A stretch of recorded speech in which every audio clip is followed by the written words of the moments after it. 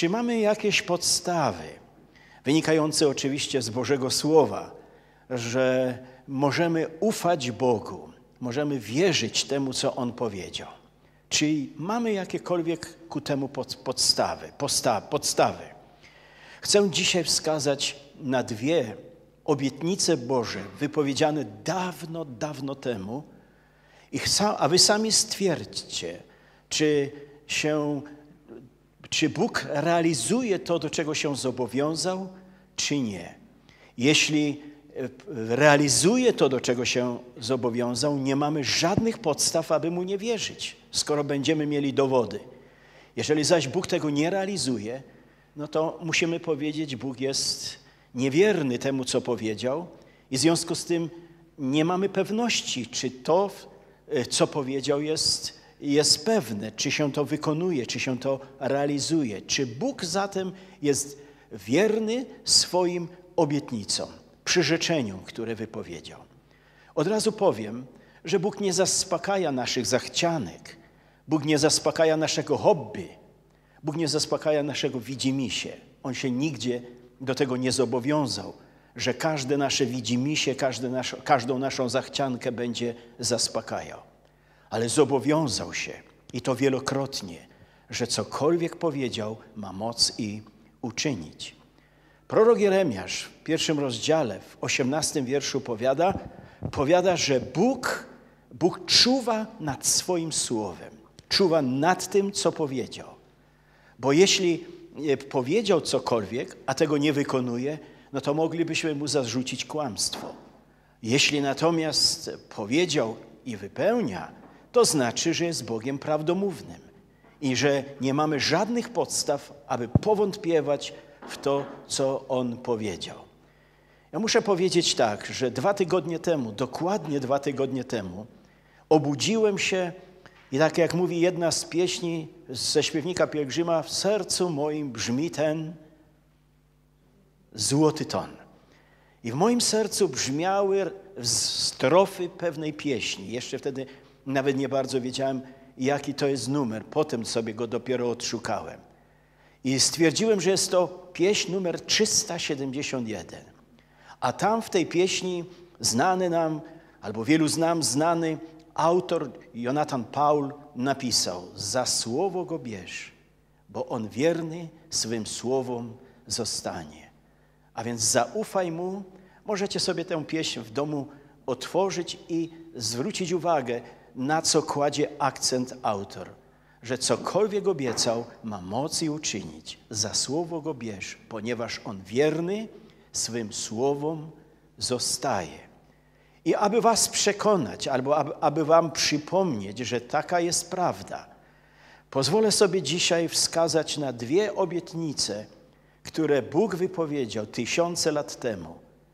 A wy sami dochodźcie do przekonania, czy Bóg to, co obiecał, to wykonuje. Czy się do tego, co zobowiązał, czy to przestrzega, do czego się zobowiązał.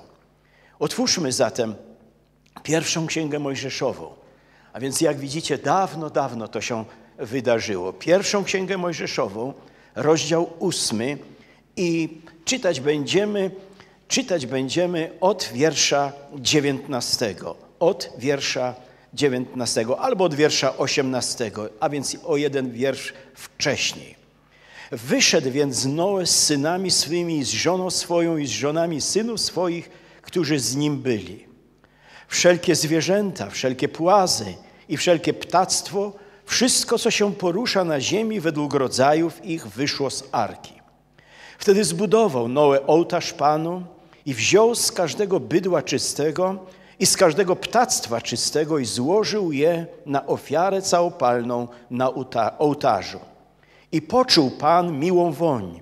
Rzekł tedy Pan w sercu swoim, już nigdy nie będę przeklinał ziemi z powodu człowieka, gdyż myśli serca ludzkiego są złe od młodości jego. Nie będę też już nigdy niszczył żadnej istoty żyjącej, jak to uczyniłem. Dopóki ziemia istnieć będzie, nie ustaną siew i żniwo, zimno i gorąco, lato i zima, dzień i noc.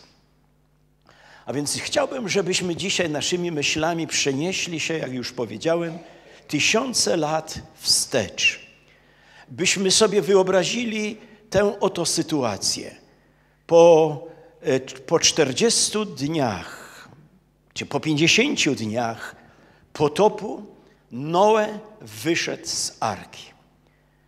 Jaki widok przedstawiała ziemia? Jaki widok zobaczył Noe?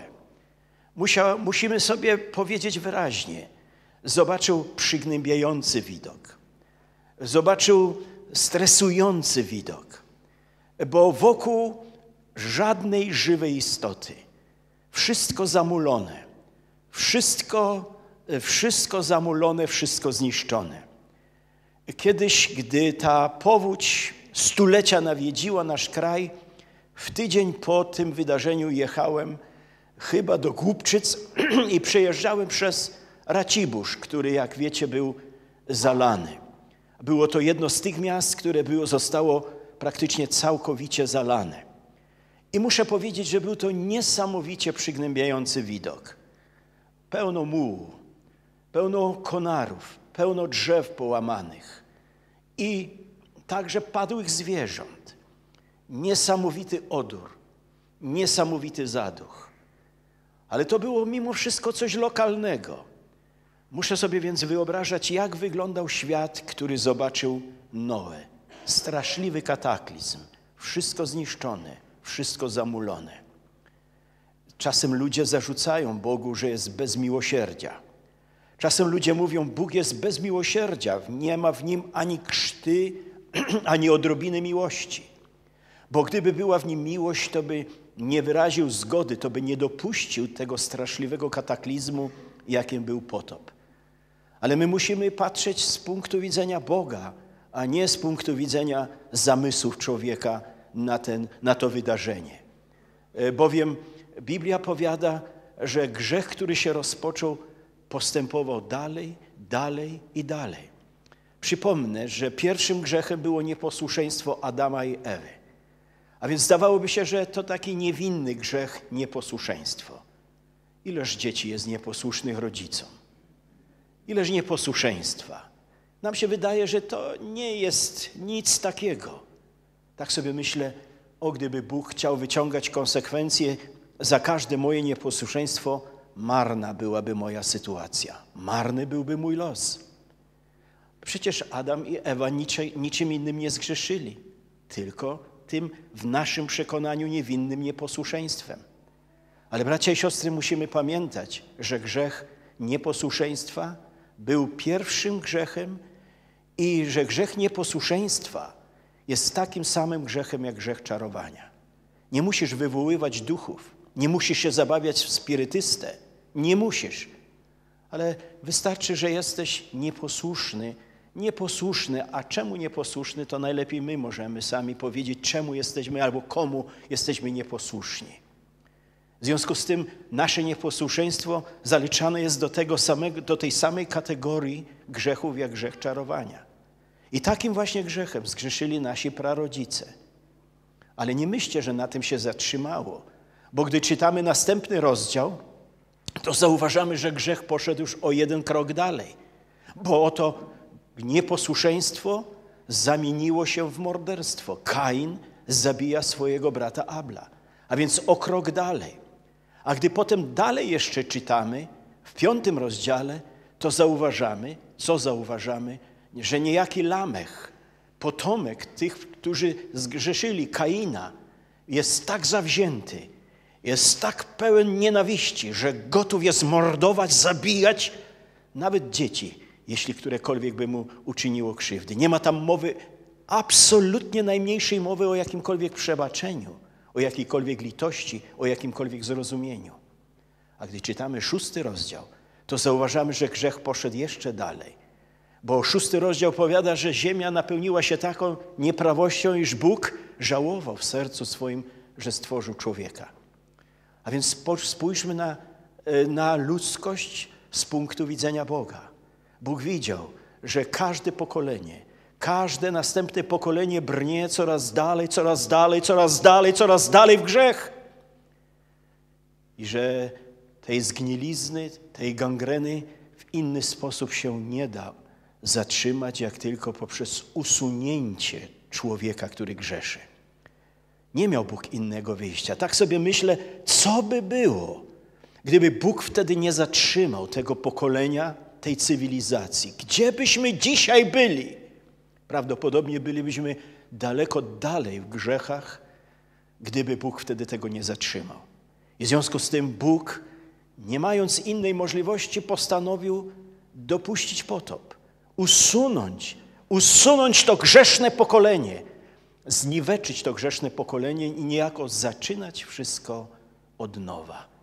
Bo czasem pewnych rzeczy nie da się naprawić. Trzeba zacząć od nowa. I Bóg tak postanowił. No i resztę już wiecie. Nastał potop.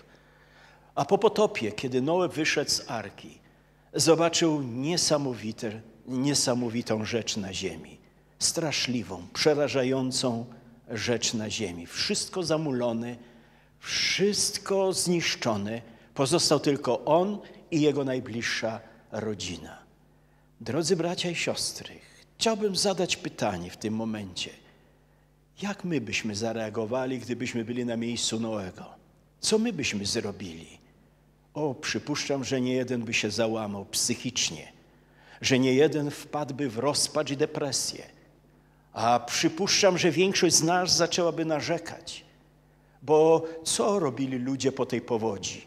Narzekali, narzekali, utyskiwali, narzekali na rząd, narzekali na wszystko, na co się dało. A zatem prawdopodobnie, gdybyśmy się my znaleźli w pozycji Noego, i my byśmy się oddali temu samemu stanowi narzekaniu, narzekaniu i jeszcze raz narzekaniu. Bo to jest cechą człowieka, że gdy się znajdzie w trudnych sytuacjach, w problemach, to pierwsza rzecz, jaką czyni, to narzekanie, to utyskiwanie, to oskarżanie wszystkich wokół, a może nawet samego Boga. A więc składanie winy na wszystkich, a więc obarczanie odpowiedzialnością wszystkich. I przypuszczam, że większość z nas, być może i ja, nie ręczę za siebie, zająłbym taką samą postawę. Patrząc na to zniszczenie, patrząc na to wszystko, narzekałbym, Panie Boże, dlaczego? A jeśli już nie na Boga, to na tych ludzi bym narzekał, dlaczego? A więc znalazłbym się w pozycji krytykanta, oskarżyciela, człowieka, który no, w tej sytuacji jest człowiekiem narzekającym. Tymczasem co zrobił Noe? Tymczasem co zrobił Noe? I niech to będzie także dla nas jakąś wskazówką.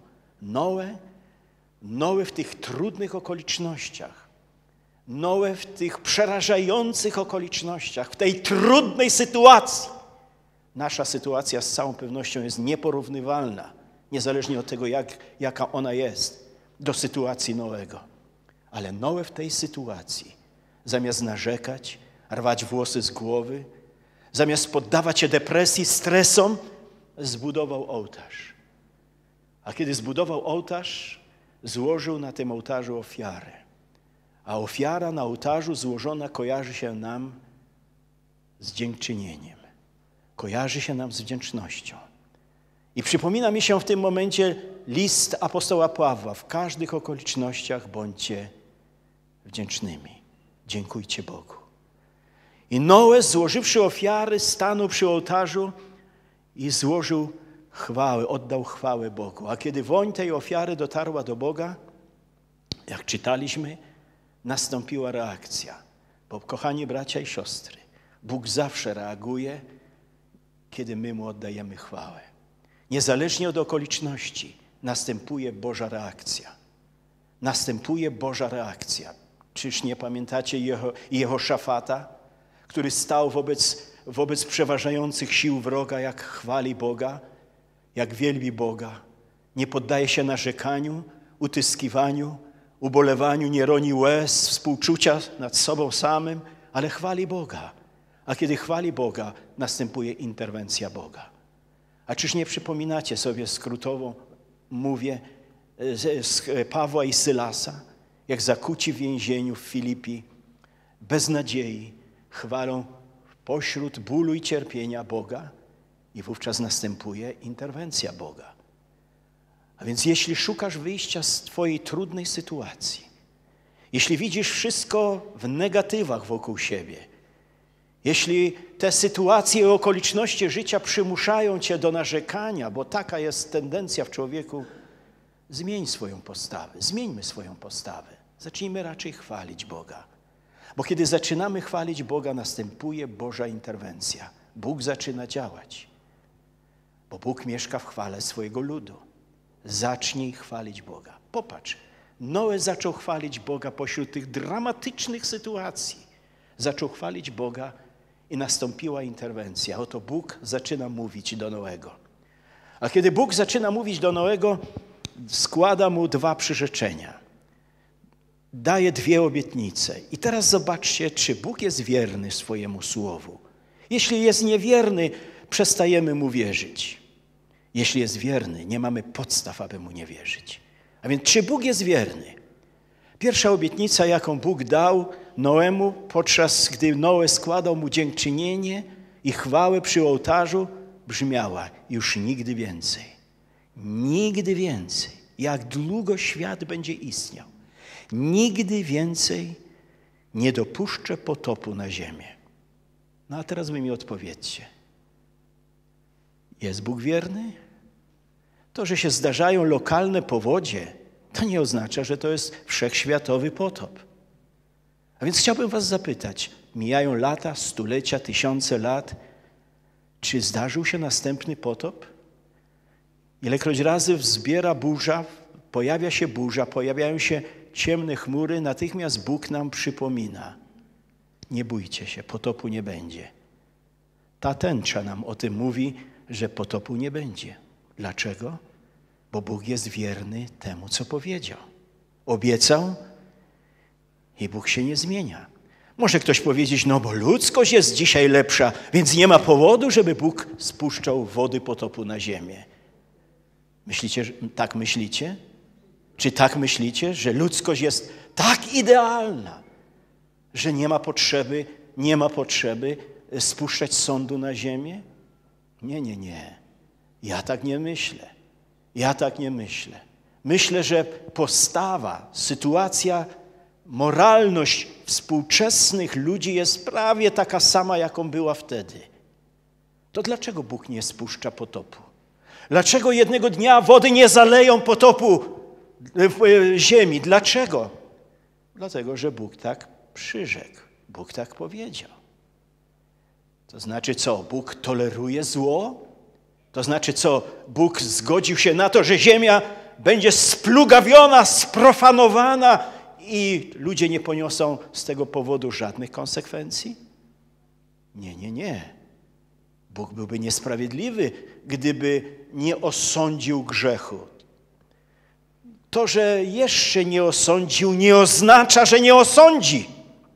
Bo gdy otwieramy drugi list apostoła Pawła do, e, przepraszam, apostoła Piotra, dowiadujemy się zdumiewającej, przerażającej wiadomości.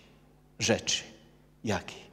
Że ta ziemia nie będzie nawiedzana potopem, ale że ta ziemia i ludzie na niej mieszkający osądzeni zostaną w inny sposób. W jaki? Że jednego dnia strumienie już nie wody, ale ognia stąpią na tę ziemię i ta ziemia spalona będzie wraz z całą, całym bezprawiem ludzkości, z całym grzechem, który nagromadziła ludzkość. Powiecie, jak to jest możliwe? No, poczytajmy. Jest nagromadzonych tyle bomb atomowych, że kilkakrotnie mogą spalić całą Ziemię. To nie jest żaden problem. Boży zegar jeszcze nie doszedł do, do momentu, kiedy to się ma wydarzyć. Ale to się wydarzy. Ale to wcale nie, oświ- nie świadczy o tym, że Bóg nie jest wierny swojemu słowu. Ilekroć razy zobaczę tęczę, muszę w sercu swoim Bogu dziękować. Boże, dziękuję Ci za to, że Ty obiecałeś i jesteś wierny swojemu słowu. Zgadza się? A skoro jesteś wierny w tym momencie, tu i w tym momencie, to przecież niemożliwe, żebyś nie był wierny w innych momentach, przy, kiedy dawałeś inne obietnice. I to jest ta pierwsza obietnica. Ale tutaj jest zawarta jest także druga obietnica. My z żoną czasem urządzamy sobie krótkie no, w miarę sił wycieczki rowerowe. Jeździmy tam w kierunku Drogomyśla, w kierunku e, Piersca, po tych tam rowerowych ścieżkach. I co stwierdziłem? Kiedy jechaliśmy wiosną, kiedy jechaliśmy wiosną, widzieli, widziałem traktory ciągnące siewniki. Widzieliście to też kiedykolwiek? Kiedyś, jeszcze za mojego dzieciństwa, to chłop, rolnik szedł z płachtą albo z jakimś koszem i rzucał ziarno ręką. Dzisiaj siewniki ciągnięte przez traktor zasiewają ziarno. Mija lato, zbliża się jesień.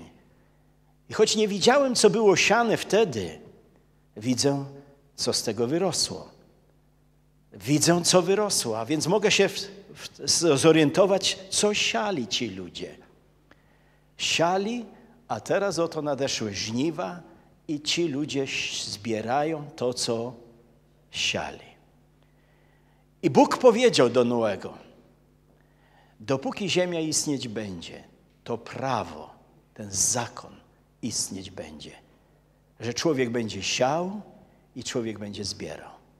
Będzie siał i będzie zbierał rezultaty swojego siania. siania. I to się dzieje. Dzięki temu z łaski Bożej nie cierpimy głodu. Bo rolnik zasiał jedno ziarenko, a z tego jednego ziarenka wyrosło, wyrósł kłos i w nim jest sto ziaren.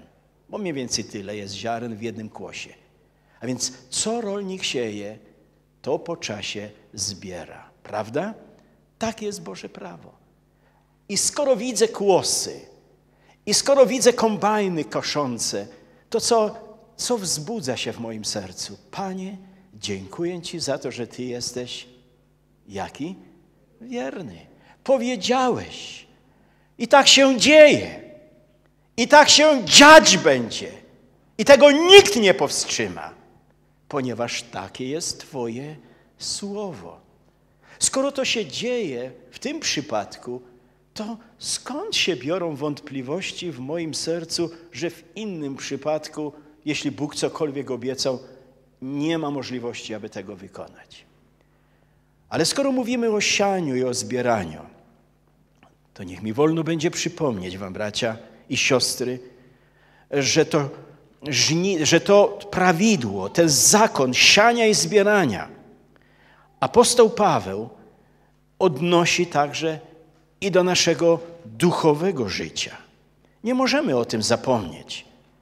Gdy patrzymy na sianie dokonywane przez rolnika i gdy obserwujemy kombajny krążące po, po polach, musimy pamiętać o duchowym także prawidle, o duchowym zakonie. Bo oto co mówi apostoł Paweł w liście do Galacjan. W rozdziale szóstym Paweł powiada tak: Nie błądźcie. Bóg nie da się z siebie naśmiewać, albowiem co człowiek sieje, to i, to i, to i rządź będzie.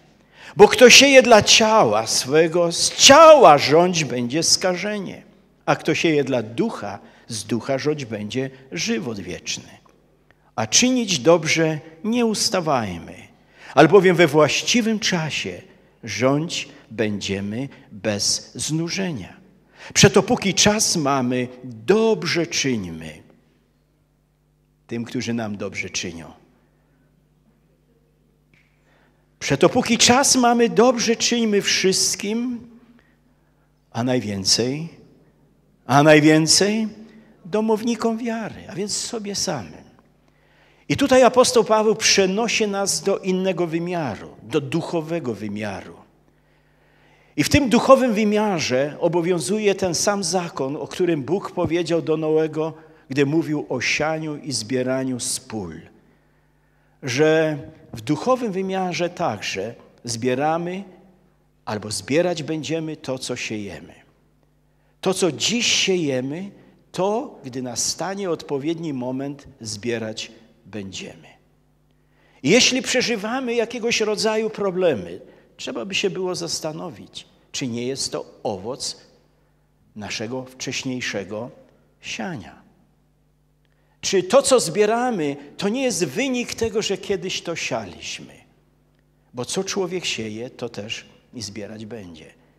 Ale nie powiedziałbym wszystkiego do końca, gdybym na tym skończył. Bo zasada jest taka, że siejemy jedno ziarno, a zbieramy cały, cały kłos. I tak to jest w życiu duchowym. Jeśli siejemy jedno słowo, no to zbieramy cały kłos. Więcej w każdym razie zbieramy niż sialiśmy. Co więc należy robić, by zbierać dobry plon? Podpowiedzcie mi, ja nie wiem. Siać konkol? No co siać? Dobre ziarno, wtedy dobry plon będziemy zbierać. Siać dużo, a zbierać będziemy, siać dużo dobrego i zbierać będziemy dużo, jeszcze więcej dobrego. Jeśli chcesz słuchać, słyszeć pod swoim adresem 100 e, dobrych słów, to co masz zrobić? Zasiać przynajmniej jedno dobre słowo. Jeśli chcesz, aby cię ludzie miłowali, to zasiej to samo. A więc siejmy dobrze, a zbierać i zbierać będziemy dobrze. Jeśli siejemy złość, podejrzliwość, nienawiść, to co się dziwimy, że tym samym ktoś nas, ktoś nam odpłaca. Zbieramy to, co siejemy. Tak jest bowiem zakon. Powiecie, Bóg nie jest wierny. Bóg tego nie robi. No nie, jeśli tego nie robi, to, to jaka pewność, że robi to, co obiecał? Także i w tym wypadku Bóg jest wierny. Ja już kiedyś tutaj z tego miejsca dawałem przykład, e, wskazujący na to, że co człowiek sieje, to też zbierać będzie. W pewnym domu był taki kochający w cudzysłowie syn, który, kiedy ojciec się zestarzał, postanowił pozbyć się tego ciężaru. I postanowił zawieźć go do najbliższego domu starców, bo nie miał na tyle współczucia, żeby się opiekować ojcem w jego sędziwości. Zaprzągł więc konie, załadował tego starego, niedołężnego ojca na, na furmankę, na wóz i wiezie go gdzieś pod jakąś górę. Ciągnie ten koń, ten wóz z tym sędziwym starym ojcem. I w pewnym momencie syn się zatrzymał, syn swój wóz przy jakimś tam głazie, kamieniu na szczycie tej góry, żeby trochę odpocząć. I kiedy usiadł, żeby odpocząć, sam i koniowi dać odpocząć, nagle usłyszał, że jego ojciec tam, leżący na wozie, płacze rzewnymi łzami. Szlocha. Podchodzi do ojca, pyta ojcze, dlaczego płaczesz? Co ci się stało? Dlaczego płaczesz? Bo widzisz, synu, kiedy ja byłem w twoim wieku, na tym samym kamieniu siedziałem, odwożąc mojego ojca do domu starców. I dziś mi się to wszystko przypomniało. Co siałem, to zbieram. Bo taki jest Boży zakon. Taki jest Boży zakon. Bóg nie odwołał tamtych prawideł, tamtego zakonu, Bóg nie odwołuje i tego zakonu. Co człowiek sieje, to też rządź będzie. Dlatego apostoł Paweł nas tak bardzo, bardzo gorąco zachęca. Siejmy ustawicznie to, co dobre, albowiem we właściwym czasie rządź będziemy od świtu do nocy, bez znużenia. A nade wszystko myślmy w tym momencie o domownikach wiary. Siejmy dobre nasienie. Siejmy dobre nasienie. Zbierać będziemy dobre nasienie.